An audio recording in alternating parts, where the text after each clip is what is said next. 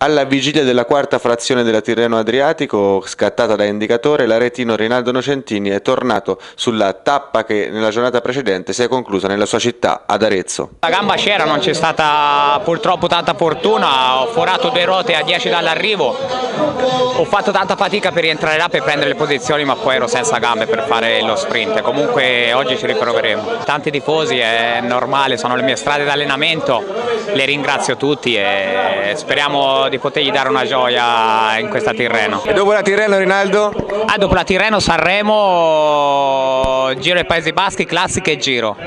Quindi un'altra importante stagione per te? Sì, si spera, si spera che inizi a girare un po' anche la fortuna perché per il momento non sono stato tanto fortunato con le strade bianche ieri, però ancora la stagione è lunga, sicché proveremo sicuramente a essere là.